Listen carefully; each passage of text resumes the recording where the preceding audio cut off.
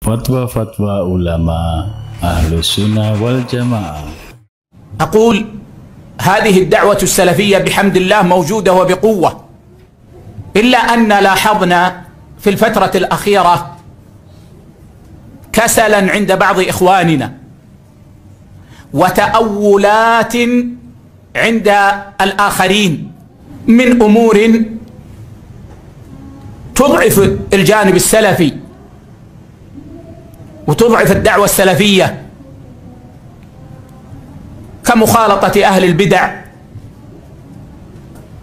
أو التعاون معهم. فبعض الإخوة مثلا يدخل عليهم التأويل أن نتعاون مع أهل البدع في المصالح العامة وفيما نرى أنه خير ونجتنبهم فيما عدا ذلك. وهذا